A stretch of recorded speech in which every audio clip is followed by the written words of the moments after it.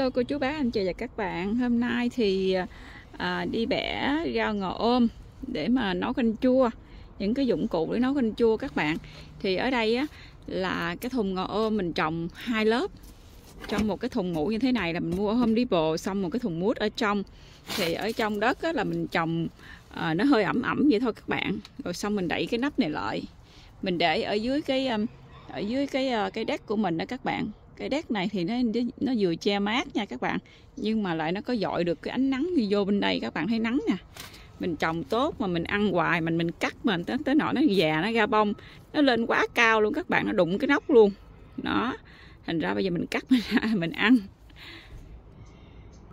Đó có chú anh chị các bạn mình cắt xong rồi mình sẽ vô đất vô phân để cho nó ra nó mọc lại nữa nha các bạn.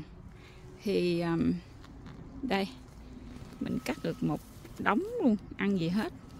Đó mấy cái nào mà già già thì mình sẽ đem xuống greenhouse á. Mình sẽ cắm mình trồng thêm ở dưới greenhouse nữa các bạn. Mình trồng hai à, ngò ngò ơ mình trồng hai chỗ lận. Xong mình đậy nắp lại như thế này nha các bạn. Đó. Đó, cô chú anh chị các bạn thì bây giờ bắt đầu mình đi hái rau ngò gai. Để nấu canh chua. Nó tốt quá nè. Mấy cây con quá trời luôn nè các bạn thấy không? Đó mình cấy ra trong chậu trồng nó mau lớn hơn trong này nhiều lắm các bạn. Đó anh chị các bạn thì hồi nãy mình cắt ngò ôm quá nhiều thật sự mình ăn cũng đâu có hết đâu. Thành ra mình cắt cái gốc á, còn lại để mình cắm vào đây. Ở đây là một cái chậu thứ hai mình trồng ở trong cái greenhouse. Đó anh chị các bạn mình trồng nó không có ngập nước mình trồng cái trạng thái mà nó sình sệt, nó ẩm như thế này nè các bạn. Thành ra uh, nó cũng rất là tốt. Mình mới mới cắm thêm nè. Mình mới bắt đầu trồng cái này thôi. Mình thấy nó cũng phát triển good nè các bạn. Thì để vài bữa nữa mình cho các bạn coi. Với lại chia sẻ với các bạn luôn đây là ba cây ổi mà thái ruby ruột đỏ không hạt các bạn. Cái loại mà ngon nhất của bây giờ đó. Thì bữa hỏi ông xã mình ông té ông té từ trên nó rớt xuống cái chậu 100 lông nó làm gãy đi ba cái nhánh ổi này. Thì mình tiếc quá. Mình thấy vậy cái mình cắt cái gốc ở dưới đó các bạn mình cắt cái gốc ở dưới à, cái cái nhánh ổi đó rồi mình cầm trong đây, với lại mình bịch cái này lại nè các bạn. Vậy mà bây giờ nó ra cái mầm nè các bạn thấy không? Nó ra cái mầm rồi nè. Đó. Mình bịch lại như thế này nè. Đó. Đó. Rồi xong mình cho mấy cái lỗ thoát nước như vậy nè. Đó, anh chị các bạn.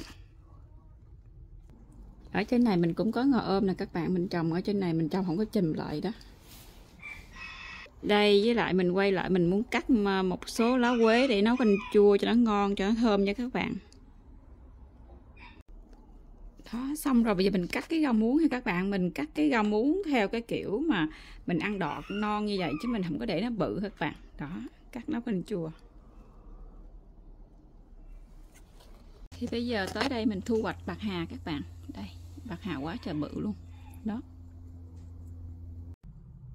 đó, cô chú bác anh chị, các bạn. Thì mình cắt bạc hà như đây là ăn nhiều dữ lắm rồi, ăn không hết đâu. Chỉ cắt một cái, chỉ cắt có một cái chậu thôi đó. Và nó đã như vậy rồi, mấy bẹ thôi các bạn. Còn này gà muống nè.